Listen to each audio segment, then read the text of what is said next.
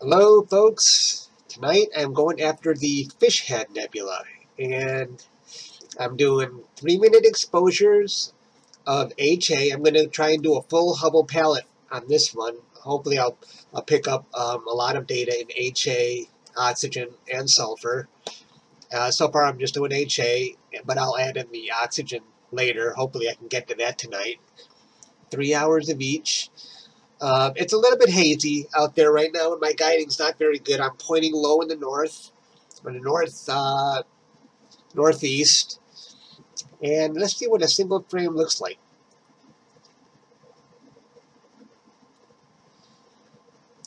So, okay, that's not that's not bad for a single frame for HA. I I don't have a great feeling about oxygen right now because uh, what I've noticed with my SCT it maybe I'm wrong, but it doesn't seem to pick up oxygen as strongly as my refractor does.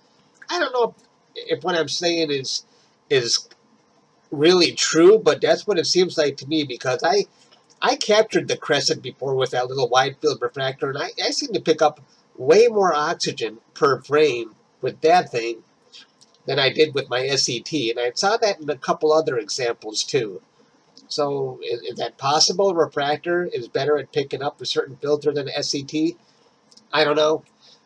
But either way, I'm I'm having a lot of fun with this SCT ever since I got my autofocuser for it. It seems like it has new life now, and it's it's a lot of fun doing that and narrowband, and there's a, a very bright moon out now anyway, so I'm having fun with it, and I'm going to keep using it right now until I run out of targets. So, well, I'll stack a few of these and see how it's looking. Um, we're heading into a dither right now, I'm sure. Let's see my guiding. At 0.71, um, that's not too bad. I'll take that, considering it, it's kind of breezy, it's hazy, I'm pointing low. I'm good with that. So, I'll see you guys later. Hey, I am back again, and you can see as the night goes on, just to show you, it, my guiding usually does get better. Um, now it's past midnight and my guiding is about 0.57 total RMS error. Uh, so th that's usually par for the course. I usually show you my guiding earlier in the day and it never starts off great. It just gets better as the night goes on. So, okay, I'll be back. Hey, so I have stacked the first 43 HA images that came through and at three minutes each. That's a little over two hours so far, so I think I think three hours for HA is going to be enough. Uh, it doesn't look too grainy even right now. It doesn't look bad at all, so I think stopping at three hours will probably be fine for HA. And then I'll just keep my fingers crossed that the other two narrowband filters pick up some data. looks like a cool object. I, I Oh, if you're wondering the, what the Fish Head Nebula is, um, this is that part that hangs off of the Heart Nebula. So the Heart Nebula would actually be somewhere over on the left here, and this is the part that sort of shoots off near the bottom of it. So that's what that is. Okay, I'll, it's only about 12.30 now. I think I want to get pretty far. I'm not going to finish today. I'll probably get through three hours of HA and three hours of oxygen if the weather stays good. And I'll probably have to finish up sulfur on the next clear night, which probably won't be too far away considering the summer we've had. Okay, thanks for listening. See you on day two.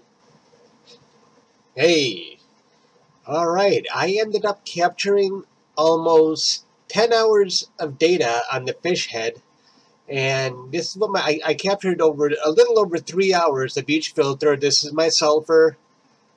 That's the HA. And that's the oxygen. And this is what I ended up with. That's the fish head. And let's, let's blow this up. I'm not sure why they call it the fish head. I mean, to me, it looks like a whole fish? Or am I looking at this wrong? This looks like the head, and this is like the whole body. Or is it the other way around? I'm not sure, but I guess it or maybe this is a fin, and maybe it's going this way, I don't know. But it was definitely a challenge getting these colors, and I'm going to break into the next segment. I had to take a, a completely different approach to, to get these colors. Uh, my, my way of, of doing the Hubble palette was giving me mostly gold, and I couldn't get any, and I couldn't get blue. I could barely get cyan. I, it just wasn't working for me. So, uh, well, I'll show you what I did. Okay, I'll be back. Okay, I'm going to show you how I processed the fish head. It was a completely different approach because my old way of doing things just didn't want to work with this this nebula. I, I couldn't get the colors I want. So I, I have to give a, a big shout out to Sean who left me a message on one of my YouTube videos that uh, the new version of PixInsight has a utility, a script called Color Mask, and it's really useful for doing the Hubble palette. And I'm going to show you how I did that. Okay, um, I'm going to go into well, these are my my three filters like Si or sulfur, oxygen, and HA. I'm in the basement right now because I installed a new version of PixInsight on my downstairs computer. Um, I didn't want to just overwrite the version I had on my other computer. I want to make sure this new version is, is, is okay first. So uh, all these files right now are nonlinear. Uh, let, us just combine them right now with LRGB combined. I don't have my process icons on this version yet. So and let's just put, uh, okay, I've got sulfur in red, HA in green, and oxygen in blue. And let's just click the circle here and see what we get.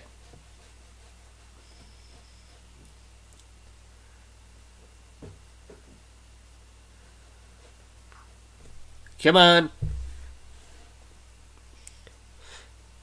I'm going to be going through this video fast because it's after 10 p.m. I'm in the basement. It's dark down here. I'm afraid of the boogeyman. Okay, let's see. I, have got my file, and uh, I have to break this into parts because I think my video recorder times out after a few minutes, so I'll be right back. Okay, so now I've got my image, and as I would have expected, it came up greenish yellow. And by the way, I'm on a 34 inch monitor down here, so I'm not sure how this is going to end up looking on a video. You might have to watch it full screen. I don't know if it's too small or or what. Okay, so the first thing we got to do is we're going to start creating our masks. And um, what we want to do, and this is new to version uh, PixInsight 1.8.5. We're going to go into Utilities and click on Color Mask. And it's just what the name implies. It's going to let us create a mask based on color.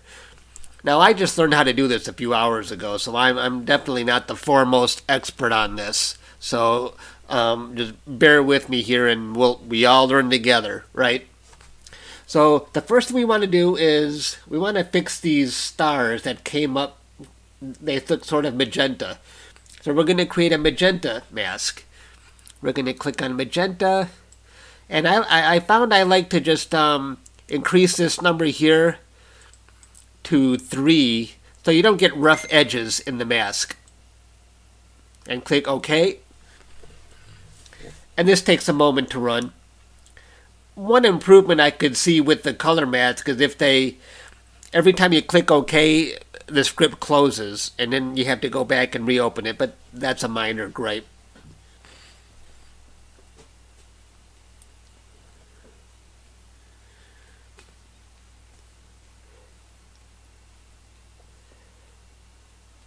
Almost done.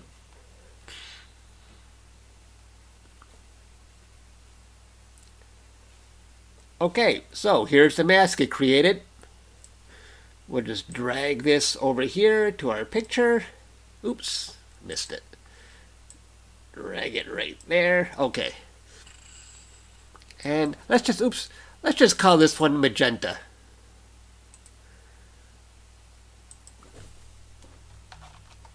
This is our magenta mask. Alright, now we'll shrink it we'll put this over here. And let's go to mask, and let's just say, let's just see the picture. Now we'll go to intensity transformation, uh, curves transformation, that's what we're looking for. And we want to click on the saturation button, click preview, and we're going to bring the saturation all the way down to try and fix those magenta stars. And execute it.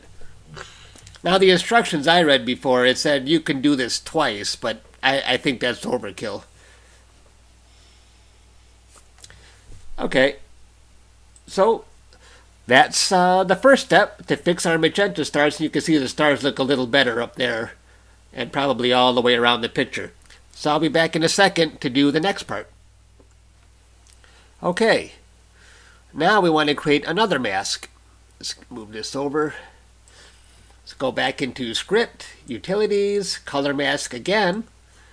Now we want to turn down the green just a little bit, so let's create a green mask. I like to go up 3 on that one. Click OK.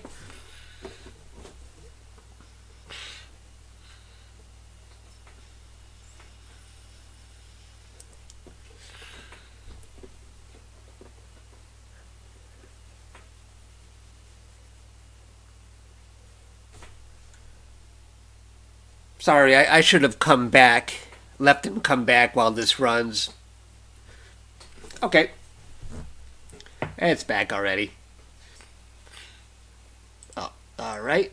And we'll call this green mask. And let's drag it over here. It'll replace the mask I currently have.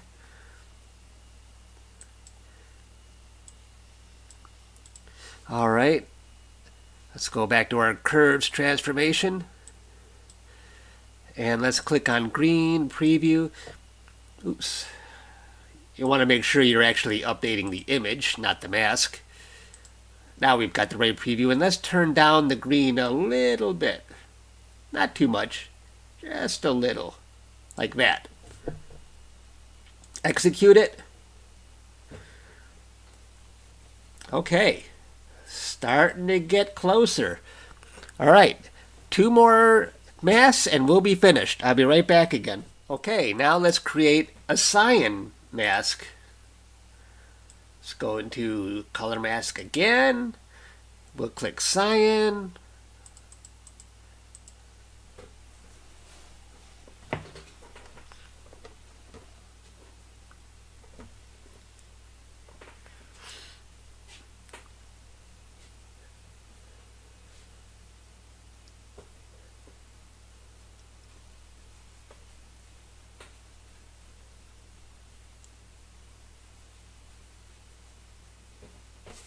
Still running. Okay.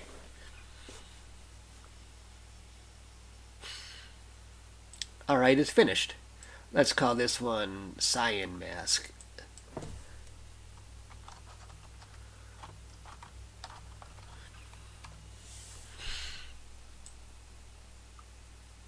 Just like that. Let's move that one up here. Open up the preview. All right, now with this one, this is where we can get creative. So let's go to our blue line here and let's just start dragging this line up a little bit. See how we're getting there? Lots of blue there. And we can maybe turn down the green a little bit more. How about a little red? This is where it's really going to be how you want to play with this. But right now I'm just showing you, look, at we've got our blue. Uh, you saw my image earlier. There's That's where the blue came from. Let's execute it.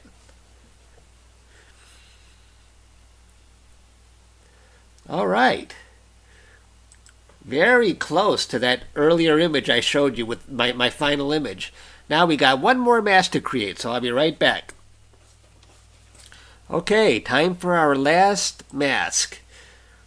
And what we want to do is we want to turn this yellowish color to a more gold, more representative of what that Hubble palette really looks like.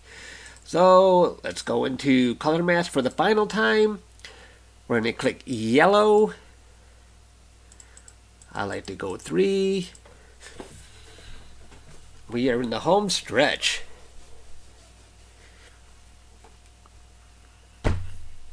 I've got this memorized already on day one because I've gone through it so many times trying to figure out what I like best. And I learned how to do deconvolution really fast because I went through that so many times. I never think I'm gonna memorize this stuff, but it, it once you start doing this over and over again, this stuff gets quick. Okay.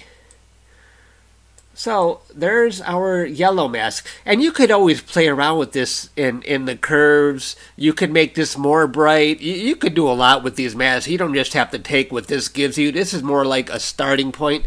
But we'll just use what it gave us for now. And put it here. And we'll call this one yellow. Not that we're going to have to come back to these, but just so I know. And so these were the four masks I created, and we are on the last one, yellow. And for the yellow mask, what you want to do is you want to use red, and the red will turn that that yellow to more of a gold. Oops. You want to make sure you're on the picture here. Click the preview and we're getting more gold. You see that? And we got a little um, some issues up there. We'll probably just you could crop that off or work on the background before you even start this process. But let's just click execute.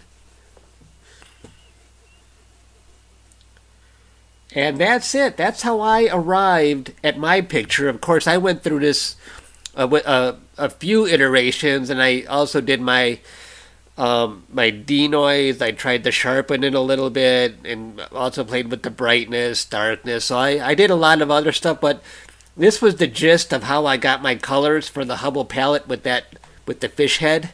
So and I use this. It was my backup today because the stuff I normally go the, the process I normally use just wasn't really giving me the colors I liked. My image was coming out mostly just gold. But with this, you, you can see how easily you can arrive at blue or, or some other color, whatever you want. And I couldn't do that with my other process. So that color mask really makes things possible. So I, I hope you found this useful. All right, I'll see you later. And thanks again to Sean for telling me about this. I was completely unaware of it.